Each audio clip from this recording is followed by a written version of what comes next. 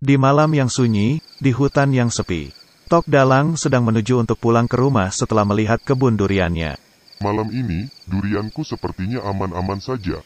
Waktunya untuk pulang dan beristirahat. Saat hendak pulang, Atok Dalang tidak sengaja menemukan sebuah tomat yang berukuran cukup besar. Wah, buah apa itu? Sepertinya buah tomat. Aku akan mengambilnya. Sepertinya buah ini terlalu berat. Aku tidak bisa mengangkatnya. Lebih baik aku pulang saja. Mungkin buah ini akan kutinggalkan di sini.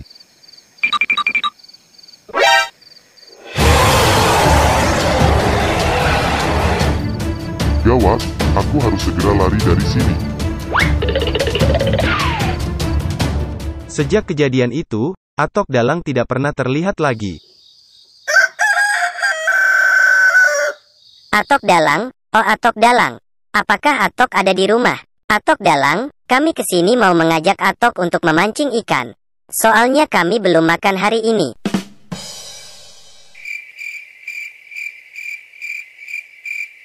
Kenapa Atok tidak menjawabnya ya Ipin? Aku juga tidak tahu. Sepertinya Atok sedang memberi makan Rambo di belakang. Kau benar juga, ayo kita coba tanya Rembo. A few moments later.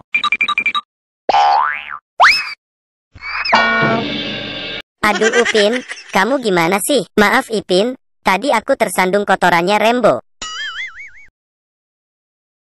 Rembo cepat katakan, di mana Atok Dalang? Hei Rembo, cepat katakan di mana Atok Dalang sekarang. Hah?